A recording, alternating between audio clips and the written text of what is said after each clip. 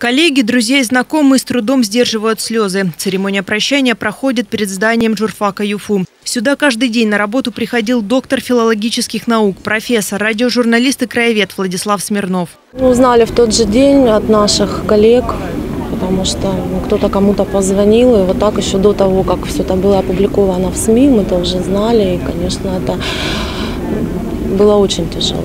Сложно поверить вообще в абсурдность такого сценария с таким человеком просто сложно поверить. Не верится до сих пор. Резонансное ДТП произошло в субботу в 11 часов утра, когда на рынке в переулке Крепостной было много людей. Пьяный сотрудник правительства области Валерий Будаев, двигаясь задним ходом от Горького к Пушкинской, начал сбивать на своем пути припаркованные машины. Затем чиновник выехал на тротуар и врезался в торговый павильон, внутри которого находился преподаватель ЮФУ Владислав Смирнов со своей женой. Они оба получили травмы различной степени тяжести. Скорая помощь доставила супругов в больницу, но профессора спасти не удалось. Я, где ваши документы? Я была за рулем. Берите, пожалуйста.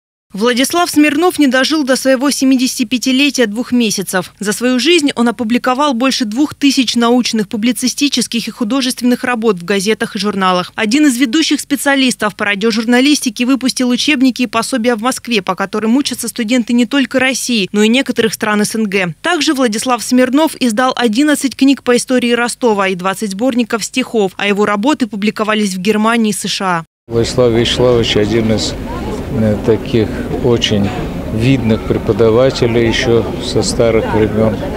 Э, работали мы с ним 45 э, лет вместе, да. Вот он закончил аспирантуру, защитил диссертацию, кандидатскую, потом докторскую, ученый.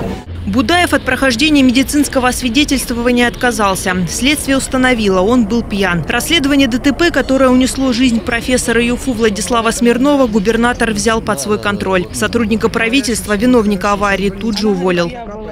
Факт того, что сотрудник одного из управлений оказался в этом состоянии, который отказался от медицинского освидетельствования – Э, как я уже сказал, был в пьяном виде, это факт вопиющий. Э, слов трудно подобрать, поэтому расследование по этой теме должно быть по полной программе.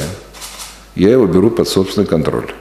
Отвечать Будаеву придется по статье «Нарушение правил дорожного движения и эксплуатации транспортных средств, совершенное лицом, находящимся в состоянии опьянения, повлекшее по неосторожности смерть человека». Ему грозит до 7 лет лишения свободы. Екатерина Лободина, Станислав Фоменко. Главное новости.